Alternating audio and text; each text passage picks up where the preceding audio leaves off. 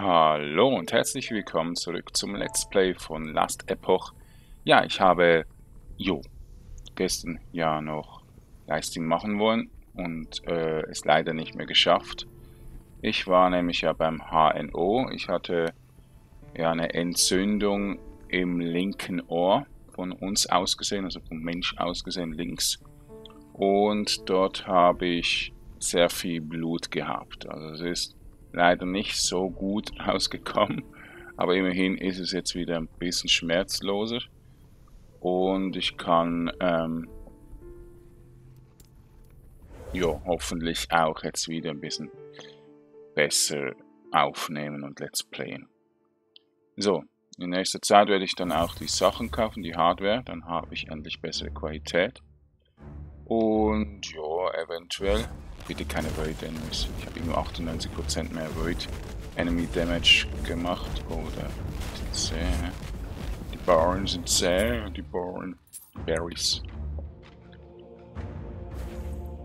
Grizzly Berries. Ja, ja, Bauern. Bears sind halt schon tanky Monster in Games. Der Secret 2 auch mega gefährlich.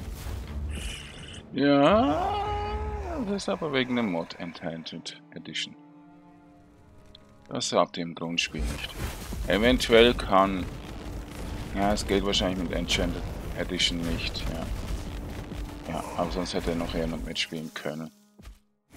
Aber da muss ich leider le äh, alleine dann wieder weiterspielen, irgendwann mal, wenn ich mehr Zeit habe. Aber ja, es war am R, das Videoskill möchte natürlich andere Sachen aufnehmen, also Let's Play sehen.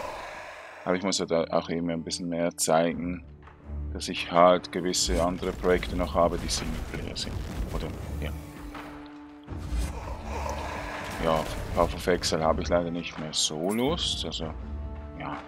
Es wird halt auch schwer sein für ihn. Und der Rollenspiel selber ist ja noch ein Weg ein bisschen vom dann geht's ja, wo ich mache.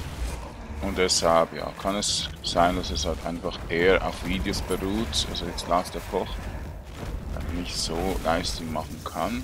Eventuell schon manchmal, aber ja, mal schauen, wenn ich Zeit finde. Und Secret 2 geht halt nur als Livestream und deshalb muss ich da auch wieder ein bisschen Zeit opfern. Ja, wenn ich nur irgendwie 24 Stunden aufnehmen könnte, oder wenigstens 12. äh, also live streamen könnte. Oh, jetzt kommt so ein Vieh. Das ist der Boss wahrscheinlich. Nicht? Da, ja. Immer ausweichen, deshalb immer ein Bewegungsziel dabei haben. Es hat mich ja schon ein paar Mal getroffen, so in so äh, ja, Splitter, beim Großen glaube ich war es nur. Ist nicht genau so, aber fast so.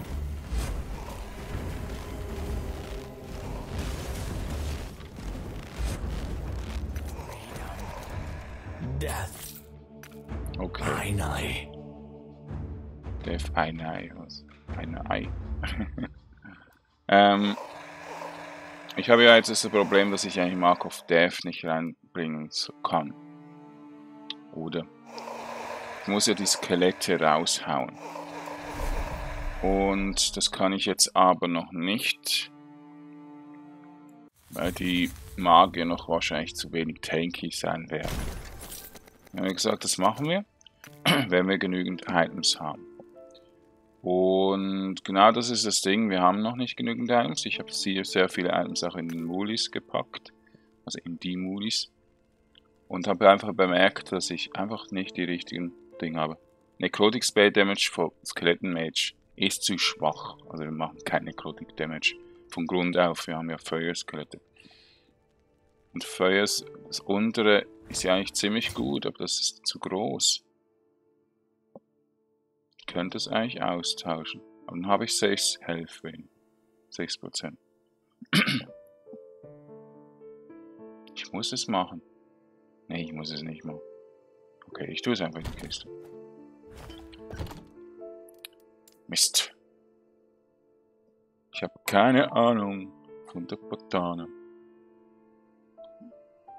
Es, es, es, passt einfach nicht, auf Schweizerdeutsch, passt es. Ich habe ke hab keine Ahnung von der Botanik. Aber auf Hochdeutsch geht's einfach nicht. So. Ja, das ist einfach.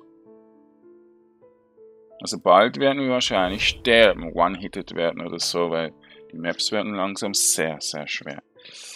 Aber ja, auf die MF-Chancen so müsst ihr nicht schauen. Da könnt ihr auch nur 5 oder 10 machen.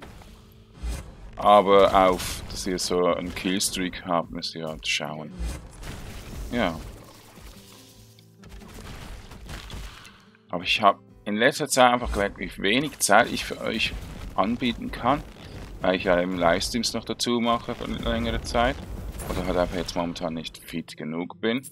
Das ist das größte Problem, das ich momentan habe, die Zeit. Kann man die Zeit wieder besser machen, indem man halt einfach ein paar Sachen abbricht oder so, aber ich bin halt einfach ein Livestream und Let's Player, der ein bisschen ja, Unterhaltung, unterschiedliche Unterhaltung haben muss, also mehrere Games Livestream oder Let's Play muss und da müsst ihr halt auf manche Projekte warten. Aber ich habe auf meinem Discord-Server, das ist unten verlinkt in der Videobeschreibung, einen Wunsch ähm, Textkanal aufgemacht. Ganz oben irgendwie Wünsche und Info, äh, Wünsche und Ideen, genau.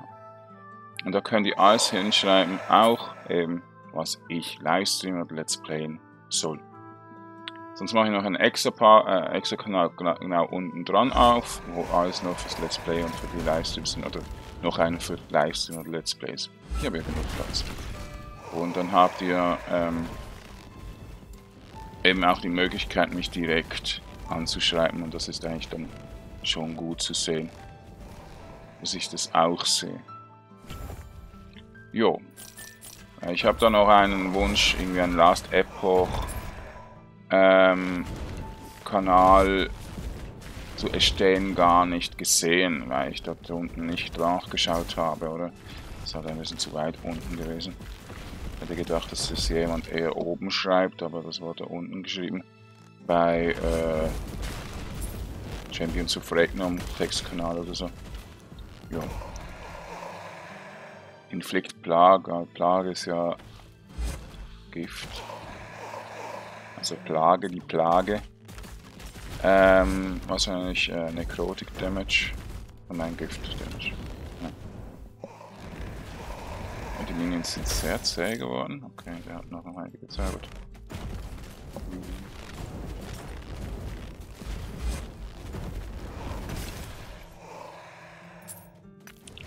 Ja, es hat ein bisschen blöde mit der Zeit. Ja, irgendwann muss ich ja wieder weitermachen mit Fußball. Weiter trainieren. Aber jetzt momentan habe ich so schwere Entzündung, ähm, das Ding auch noch betroffen ist, das Augenlid, das linke. Also eine Bindehautentzündung noch habe. Und ein bisschen Halsentzündung, deshalb ist jetzt gerade das Reden wieder nicht so tolle. ja. Ja, ja, man hat es nicht leicht, wenn man halt ein bisschen beeinträchtigt ist von, von Krankheiten und so weiter.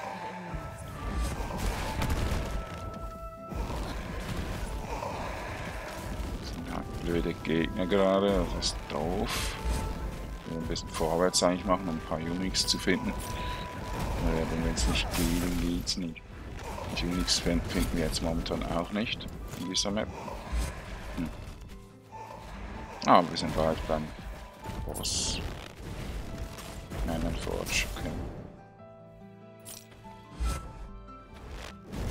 Eigentlich könnten wir jetzt schon mal eine Arena machen. Ja, machen wir das. Machen wir das im nächsten Part. Dann haben wir genug Zeit für eine Arena. Äh, für viele Wellen.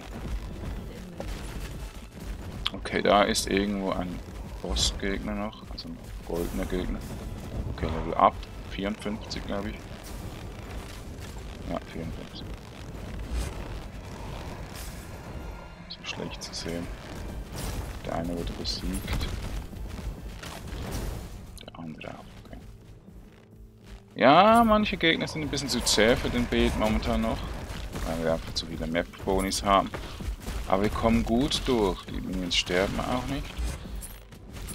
Und die Brides, ja, Die haben hier auch ein bisschen auf Leben gemacht. Weniger Life Decay.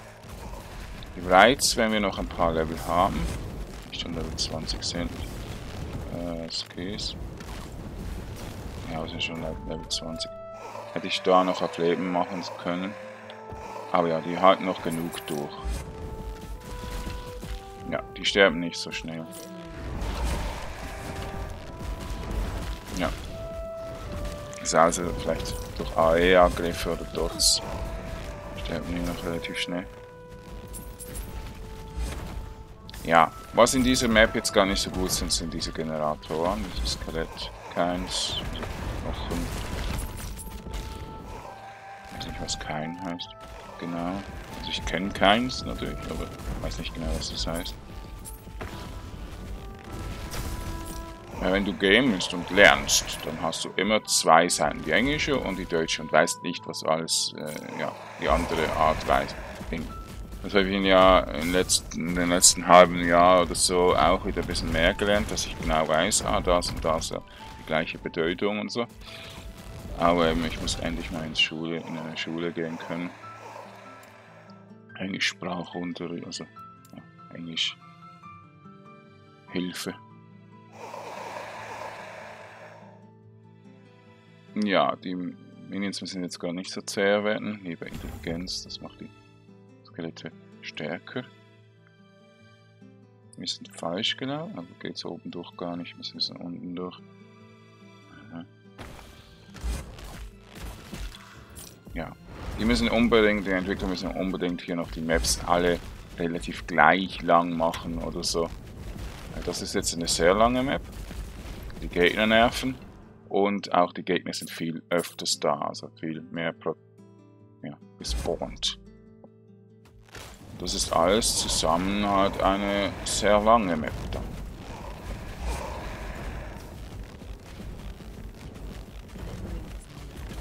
Immer dort, wo keine Nahkämpfer sind und so, eher die Raid spawnen, damit wir dann äh, nicht Probleme haben, wenn die die Magier angreifen, die neuen Gegner oder so.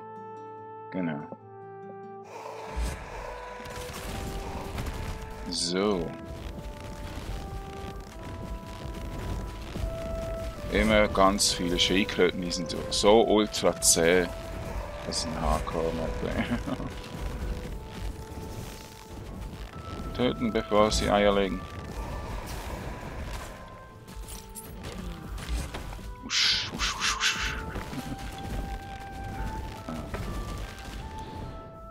Ganz viele Schüsse.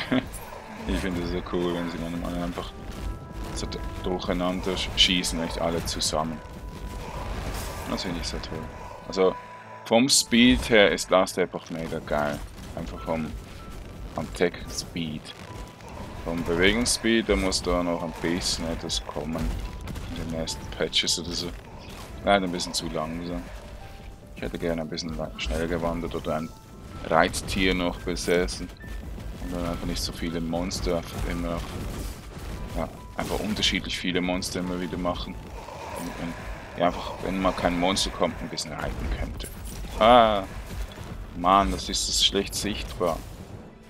Die, die Leichen sind zu groß. Man sieht das Blaue gar nicht manchmal.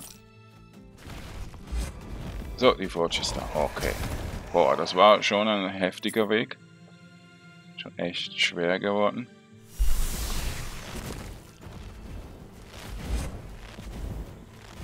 Heftig, deftig.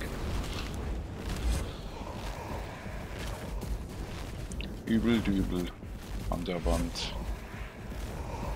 An die Wand, glaube ich. Äh. Jetzt habe ich es gerade überlegen. Ich kann es eigentlich. Ich kenne eigentlich den Spruch, aber ich habe ihn gerade verloren. Ich habe ihn, glaube ich, falsch ausgesprochen am Ende. Ähm. Nein, ich muss Wand nicht sagen, gell? Übel, übel, kleiner Dübel. Link an die Wand, wo ihn niemand mehr fand. Irgendwie so etwas aber falsch. Habe ich sicher schon zwei, drei Jahre nicht mehr so richtig gehört. Ich hatte mal einen deutschen, also das ist ein deutscher Spruch, der gibt es in der Schweiz glaube ich gar nicht, oder sehr selten. Und ja, da hat man natürlich schon jetzt nicht immer genau der Plan, wie es läuft. Das ist ein guter Spruch, weil er recht ähm, immer gleiche Wörter verwendet. Im Satz, aber der Satz natürlich anders ist. Okay. Ein neues. Den habe ich, den Skin habe ich jetzt noch nie gesehen. Lightning. Ach, kann das sein, dass das das Gute ist für den Blitzbeet? Das ist ja, also für den Lightning Blast Beet. Ja, ja. Ja, ja, das ist der Gute. Okay, schön, dass wir den jetzt mal haben. Endlich mal, endlich mal. Aber ich kenne ihn halt noch nicht so. Also ich habe ihn nur gelesen. Ich habe ihn nicht gesehen. Aber das ist der gute Start. Jupp. Ja, einfach viel Damage für den Blitzbeet.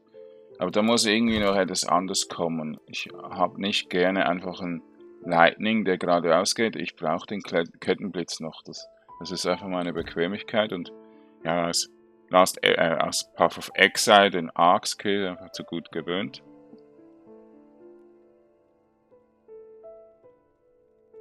Und deshalb, ja. Hätte ich ja da, äh, den gewollt, oder? Den Kettenblitz, nicht nur der Blitz. Aber er ist zu stark und deshalb möchte ich ihn nicht skillen. Wo sind die Flameblatt? Also einer ist da links, gehen wir lieber zuerst nach links, wenn wir den schon sichtbar haben.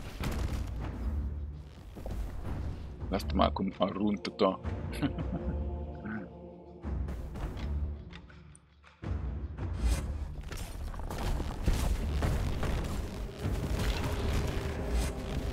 Schneller, nicht schlagen.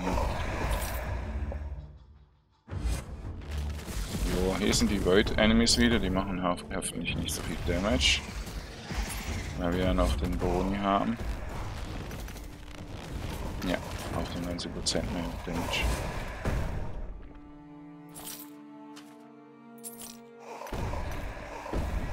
Ja, wow, das macht schon viel Schaden, hä? Also ist, ja, die machen extra so wenig Schaden, aber für das wenige Schaden machen sie viel Schaden. Diese Geschosse vom Himmel.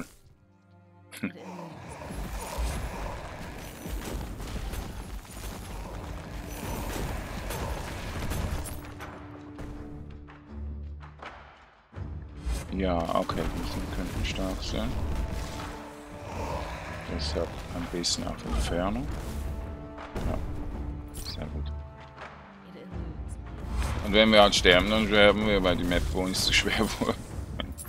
Leider nicht anders machbar. Boah. Boah, machen die viel Damage. Dieser Schuss hat denn viel Damage gemacht. Also ja, ziemlich viel. Okay, solche Maps sollten wir rerollen, also die sollten wir nicht mehr. Ist bei ähm, Path of Exile ja auch immer schlimm, wenn so 150 oder so Prozent ne, Lightning Damage ist oder so. Ja, und die Lightning Gegner ja viel zu viel Schaden, um auszuhalten, 75 Resistenz zu haben. Ja. Fünf Stärke. Nehme ich jetzt nicht So. Langsam ist der Schleim weg. So macht eigentlich der Körper Schleim.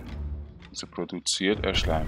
Eigentlich nur zum Haare oder ja, Pollen oder so raus zu manövrieren. Aber wieso ist der Schleim hartnäckiger, als wenn ihr räuspert oder sonst irgendwas und das dann hoffentlich rauskommt, der Staub? Okay. Aber einfach nicht so viel, bitte. Es ist manchmal echt nervig. Wenn man dann einfach aufwacht und dann viel Schleim drin hat und dann aufnimmt oder Livestreams schon macht. Ja, das ist halt, wenn man Asthmatiker ist.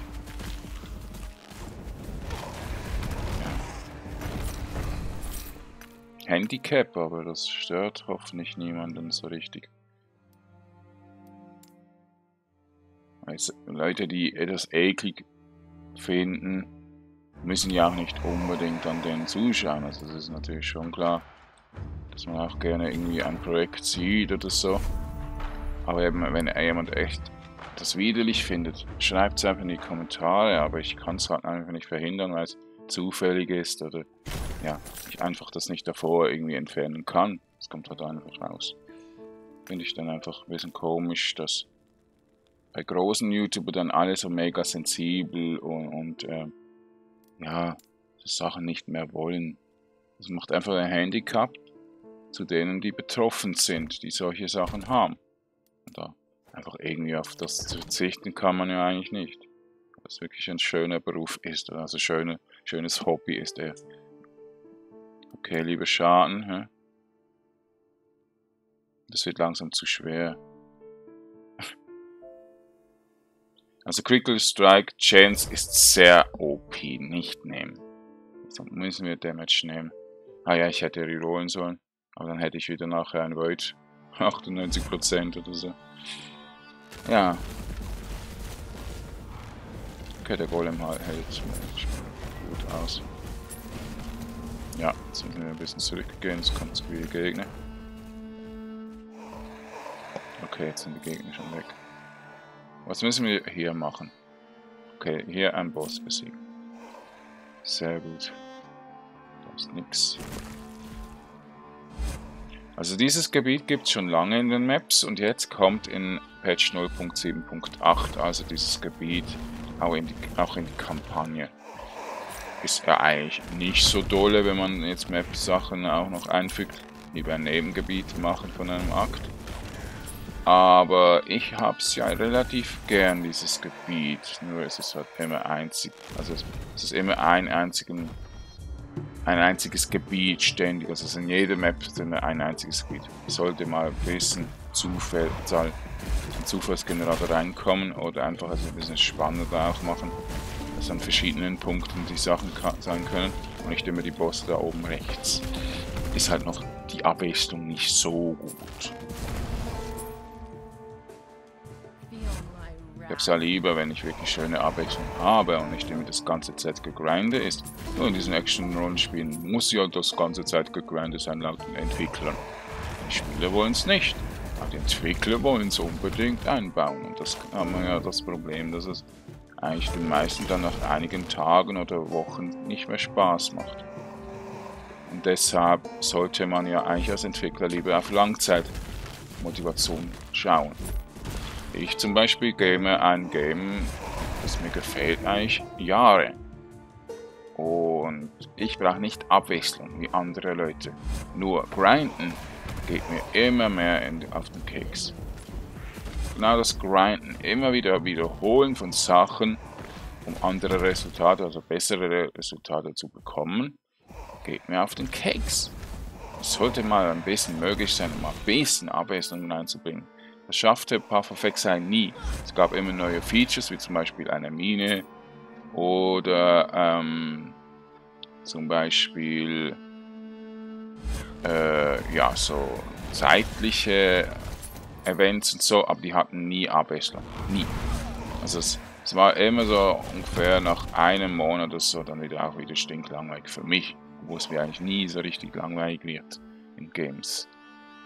Und genau das macht jetzt Last Epoch scheinbar auch. Also das ist einfach Recycling von Map-Sachen in den späteren Kampagnen kommen. Und äh, ja, ich finde ja Patch 0.7.8, was sie jetzt angekündigt haben und alles, mega interessant. Das könnt ihr zum Beispiel, ja das kann ich nicht so gut machen, das könnte dann jemand anders für mich machen. Von Steam auf der Homepage die Sache, die Links einfach verlinken von den News zu Last Epoch. Oder einfach die Webseite nutzen, aber das ist jetzt nicht so toll gesehen, äh, geschrieben. Bei Steam ist es immer besser geschrieben. Einfach ein bisschen News bei mir auf dem Kanal machen. Discord gemacht.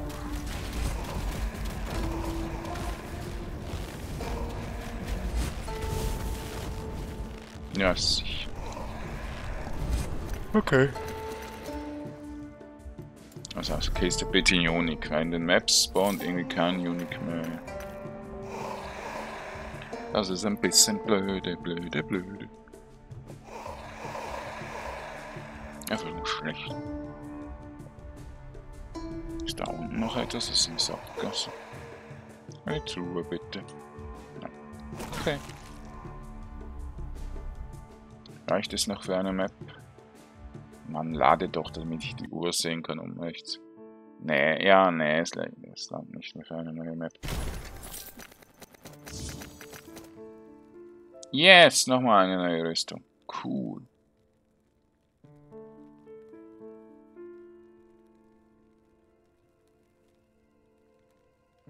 Okay, einfach eine Lebensrüstung. Das ist nicht so speziell.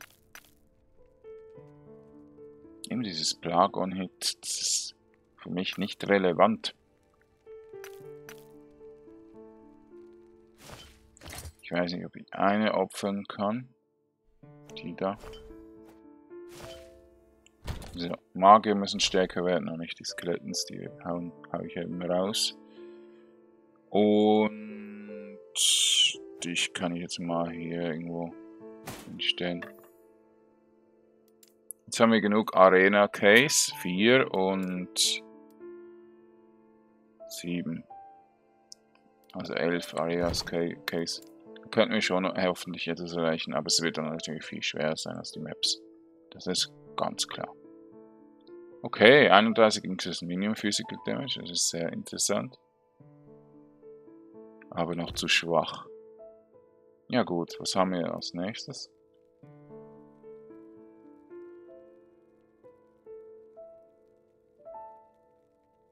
Ja.